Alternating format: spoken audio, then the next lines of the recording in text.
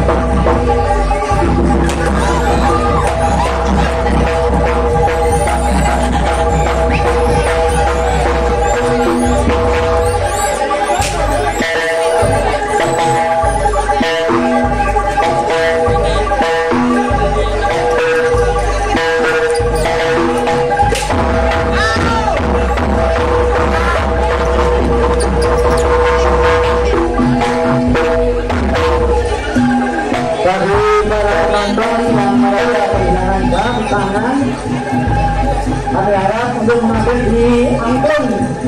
di Pentang Terus damai Terus damai